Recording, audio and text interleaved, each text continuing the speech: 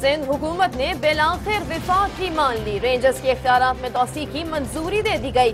صوبائی کابینہ کے اجلاس میں پولیس کی استداد کار بڑھانے کا فیصلہ۔ مسلم لیگ نون اور پیپلز پارٹی کے رہنماؤں کی ایک دوسرے پر لفظی گولہ باری وزیر مملکت مریم اورنگزیب کہتی ہیں کہ جے آئی ٹی میں وزیر اعظم نے پیش ہونا ہے، مگر تکلیف اپوزیشن کو ہو رہی ہے۔ عابد شیر علی نے آصف علی زرداری کا نام، ای سی ایل میں ڈالنے کا مطالبہ کر دیا۔ پیپلز پارٹی کے مولا بخش چاندیوں کے جوابی وار کہتے ہیں کہ عابد شیر علی نا سمجھ ہیں۔ مسلم لیگ نون کو تاریخ بنانے میں نہیں، بلکہ اقتدار بچانے میں دلچسپی ہے۔ ملک بھر میں آپریشن رد الفساد کامیابی سے جاری پنجپور میں کلدم تنظیم کے تیس کارندے گرفتار، تین ٹھکانے دبا chief of army staff, general Qamar Javed Bajwa کی افغانستان میں فوجی اڈے پر حملے کی شدید مذمت۔ آرمی چیف کا کہنا ہے کہ دہشت گرد مشترکہ دشمن ہے۔ پاکستان پرازم افغان قوم کے ساتھ کھڑا ہے۔ کراچی کے علاقے لیاری چاکی باڑہ میں دستی بم حملہ، تین افراد زخمی ہو گئے۔ ناظرین، سندھ حکومت نے بیلاخر ہٹ دھرمی ترک کرتے ہوئے رینجرز کے خصوصی اختیارات میں توسیع کی منظوری دے دی ہے۔ صوبائی محکمہ داخلہ نے کابینہ کے فیصلے کی توسیق کے لیے وفاقی وزارت داخلہ کو خط بھی ارسال کر دیا۔ تفصیلات منیر ساکی سے۔ وزیر اعلیٰ سندھ مراد علی شاہ کی زیر صدارت صوبائی کابینہ کے اجلاس میں رینجرز کے اے ٹی اے کے تحت کسی بھی ملزم کو نوے روز کے لیے حراست میں رکھنے کے اختیارات میں توسیع کی منظوری بھی دی۔ سندھ پولیس کی استعداد کار بڑھانے کا بھی فیصلہ کیا گیا۔ اس موقع پر سید مراد علی شاہ نے کہا کہ کراچی میں ٹارگیٹڈ آپریشن سے اچھے نتائج سامنے آئے ہیں۔ اس سے قبل کابینہ نے بجٹ دو ہزار سترہ اور دو ہزار بیس کے لیے صوبائی حکومت کی منصوبہ بندی کی بھی منظوری دی۔ اجلاس کے بعد میڈیا سے بات چیت کرتے ہوئے صوبائی وزیر سید ناصر حسین شاہ کا کہنا تھا کہ رینجرز اختیارات کو بلا جواز ایشو بنایا گیا۔ پنجاب میں رینجرز کو دیے گئے اختیارات میں انہیں سی ٹی ڈی سے منسلک کیا گیا ہے، جبکہ سندھ حکومت نے رینجرز کو مکمل طور پر با اختیار بنایا ہے۔ وزیر مملکت اطلاعات و نشریات مریم اورنگزیب کا کہنا ہے کہ کسی کی خواہش پر منتخب وزیراعظم کو ہٹایا نہیں جا سکتا۔ راول پنڈی میں میڈیا سے بات چیت کرتے ہوئے مریم اورنگزیب نے اعتزاز احسن کے بیان کی مذمت میں کہا کہ افاج پاکستان اور تمام آئینی ادارے ملک کا فقر ہیں۔ ان کی توہین کی سیاست کو اب ختم ہونا چاہیے۔ ان کا کہنا تھا کہ وزیراعظم نواز شریف اور ان کے بچے آلہ عدالت سے سرخورو ہو گئے۔ انہوں نے کہا کہ جی آئی ٹی کے سامنے وزیراعظم نے پیش ہونا ہے۔ تکلیف اپوزیشن جماعتوں کو ہو رہی ہے۔ مریم اورنگزیب نے سابق صدر آصف علی زرداری پر تنقید کرتے ہوئے کہا کہ ملک کو لوٹنے والوں کو احتساب کی باتیں زیب نہیں دیتی وزیر مملکت، پانی اور بجلی عابد شیرلی نے آصف علی زرداری کا نام ای سی ایل میں ڈالنے کا مطالبہ کر دیا۔ کہتے ہیں کہ عزیر بلوچ کے انکشافات کے بعد آصف علی زرداری کے خلاف مقدمہ ملٹری کورٹ میں چلنا چاہیے۔ فیصل آباد میں میڈیا سے گفتگو کرتے ہوئے عابد شیر علی نے پیپلز پارٹی پر خوب نشتر چلائے۔ انہوں نے کہا کہ پیپلز پارٹی ملک میں نفرت پھیلانا اور اداروں کو تباہ کرنا چاہتی ہے۔ عابد شیر علی نے آصف علی زرداری کو تمام برائیوں کی جڑ قرار دیتے ہوئے کہا کہ ذوالفقار مرزا کے بیانات پر سابق صدر کے خلاف جی آئی ٹی بننی چاہیے۔ انہوں نے کہا کہ پیپلز پارٹی نے سندھ کے عوام کو بے دردی سے لوٹا ہے۔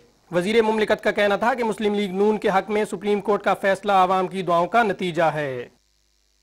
دوسری جانے مسلم لیگ نون اور پیپلز پارٹی کے رہنماؤں کے درمیان لفظی گولہ باری جاری ہے۔ مولا بخش شادیوں نے عابد شیر علی کو سیاسی پاگل قرار دیتے ہوئے کیپٹن ریٹائٹ صفدر اور سیف الرحمان کے خلاف جے آئی ٹی بنانے کا بھی مطالبہ کر دیا۔ تفصیلات منیر ساکی سے۔ پاناما کیس فیصلے کے بعد مسلم نون کے رہنماؤں نے عمران خان کے ساتھ پیپلز پارٹی کے قائدین کو بھی ہدف تنقید بنایا تو سابق صدر آسفلی زرداری کے دفاع کے لیے جیالے بھی میدان میں آ گئے۔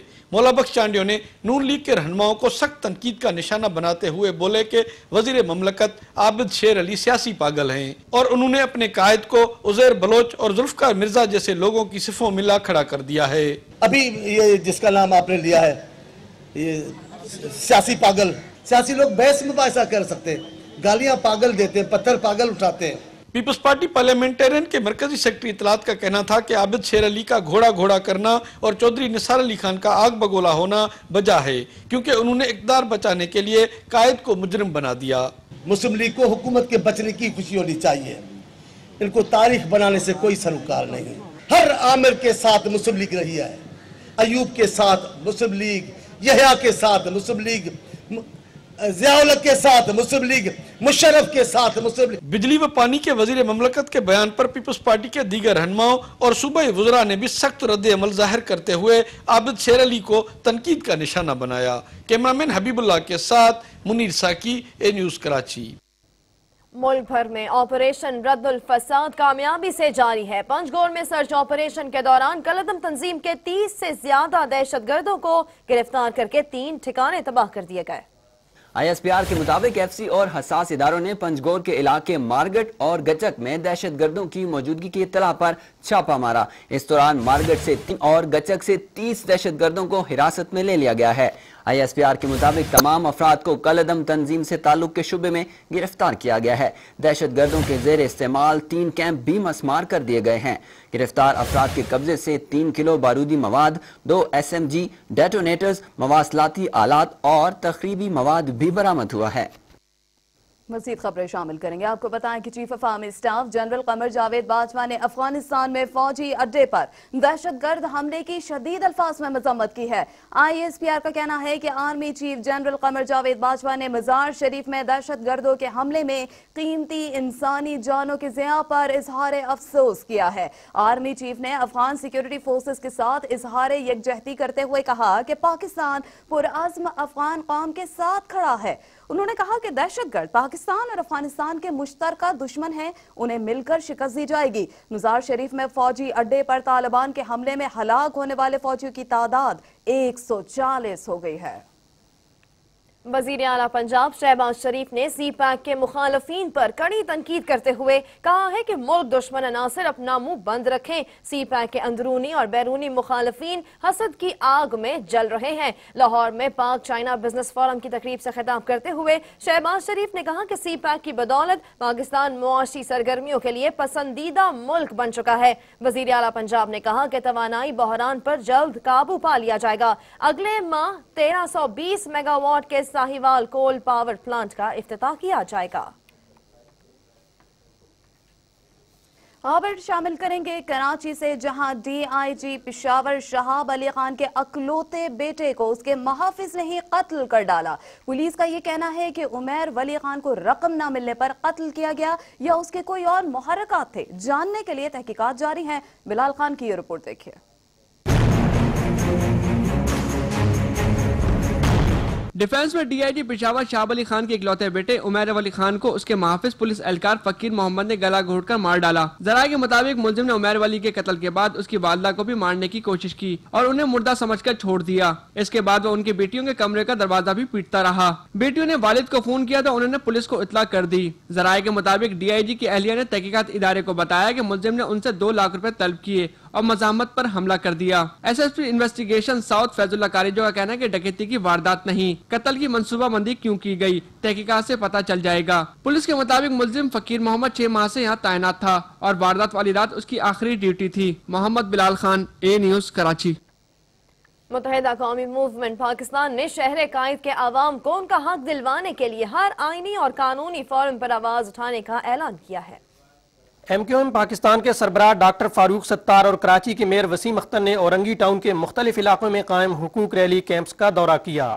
اس موقع پر شہریوں میں پمفلٹ بھی تقسیم کیے گئے۔ میڈیا سے گفتگو میں ڈاکٹر فاروق ستار کا کہنا تھا کہ کل کی ریلی ثابت کر دے گی کہ کراچی کے شہری لاوارث نہیں۔ میئر کراچی وسیم اختر نے کہا کہ عوام کو ان کے حقوق سے محروم رکھا جا رہا ہے۔ حقوق ریلی نااہل صوبائی حکومت کے خلاف عوامی رد عمل ہے۔ کراچی میں قانون نافذ کرنے والے اداروں کی جانب سے گرفتار گینگ وار کے ٹارگٹ کلر کے اہم انکشافات۔ ملزم ساتھیوں سے مل کر پانچ بھائیوں کے قتل سمیت بھتہ خوری کی وارداتوں میں بھی ملوث رہا ہے۔ پولیس کی تفتیش میں مزید کیا انکشافات سامنے آئے بتائیں گے بلال خان اپنی اس رپورٹ میں۔ اے نیوز کو موصول تفتیشی رپورٹ کے مطابق ٹارگٹ کلر عارف عرف ماما نے دوران تفتیش بتایا کہ اس نے ساتھی کامران عرف کامو اور آصف لمبا کے ساتھ مل کر مواز گوڑ میں پانچ باکسر بھائیوں کو موت کی نیند سلا دیا۔ تفتیشی رپورٹ کے مطابق مرشد اسپتال لے قریب دو مغوی لڑکوں کو بھی ملزم کے ساتھی کاملان عرف کامو نے قتل کیا اور لاشیں اسپارکو روڈ پر پھینک دی تھی پولیس کا کہنا ہے کہ ملزم کے ساتھی کامو نے ایک لڑکی کو بھی اغوا کے بعد قتل کیا ہے۔ ٹارگٹ کلر سے گروہ قتل بھتہ خوری اسٹریٹ کرائم اور دیگر سنگین وارداتوں میں ملوث ہے۔ تفتیشی رپورٹ میں بتایا گیا ہے کہ گینگ وار میں عارف عرف ماما، کامران عرف کامو، آصف لمبا، مجید اسٹیل، زبیر بحشی اختر قلعہ، فضل پٹھان اور دیگر شامل ہیں۔ Muhammad Bilal Khan A News Karachi. ناظرین، ادب سے محبت رکھنے والوں کے لیے اسلام آباد میں تین روزہ کتاب میلہ شروع ہو گیا ہے۔ بڑوں کے ساتھ بچے بھی میلے سے اپنی پسند کی کتابیں خریدتے نظر آتے ہیں۔ رپورٹ کریں گی ایمن سلیم۔ آٹھویں قومی کتاب میلے میں ایک سو تیس سے زیادہ سٹال ہیں، جن میں دینی، سیاسی، معاشی، تاریخی اور ادبی موضوعات پر لکھی گئی کتب رکھی گئی ہیں۔ بچوں کے لیے دلچسپ کتابیں بھی میلے کا حصہ ہیں۔ کتب بینی کو فروغ دینے کے لیے کئی کتابیں پچپن فیصد رعایت پر خریدی جا سکتی ہیں۔ یہ جو میلہ ہے، دراصل یہ یکجہتی کی طرف ہے کہ پورے ملک کے ادیب، شاعر صاحبہ نے کتاب جو سفیرہ نے کتب کے حوالے سے انہیں یہ نام دیا گیا ہے۔ میں سمجھتا ہوں یہ میلہ انشاءاللہ قومی یکجہتی کے لیے محمد و معاون ثابت ہو۔ نیشنل بک فاؤنڈیشن کا جو یہ کتاب میلہ ہے اس کی ایک بہت پرانی روایت ہے بہت مستحکم روایت ہے۔ میلے میں ہر عمر سے تعلق رکھنے والے افراد بڑی تعداد میں شرکت کر رہے ہیں۔ جو کتاب فیسٹیولز ہو رہے ہیں ہمارے ملک کے مختلف شہروں میں ایک بڑا ہی اہم رول پلے کر رہے ہیں۔ اور اپریل کے مہینے میں اسلام آباد میں تین لٹریچر فیسٹیول ہوئے ہیں۔ یہ بہت ضروری ہے ہم سب کے لیے کہ ہم لوگ اپنے اپنے لیول پر بک ریڈنگ کو پروموٹ کریں۔ میلے میں آنے والے بچے بھی اپنی من پسند کتابیں شوق سے خرید رہے ہیں۔ کتابیں ہمارے لیے بہت فائدہ مند ہیں۔ یہ ہمیں دوستی بھی سکھاتی ہیں اور محبت کرنا بھی سکھاتی ہیں۔ قومی کتاب میلہ پاکستانیوں کی کتاب دوستی کے ساتھ زندگی امید روشنی کی غمازی کرتا ہے۔ قومی کتاب میلے میں شریک۔ لوگوں کی دلچسپی اس بات کو ظاہر کرتی ہے کہ کتاب آج بھی ایک اچھی دوست ہے۔ کیمرہ مین شہزاد اقبال کے ساتھ ایمن سلیم، اے نیوز اسلام آباد۔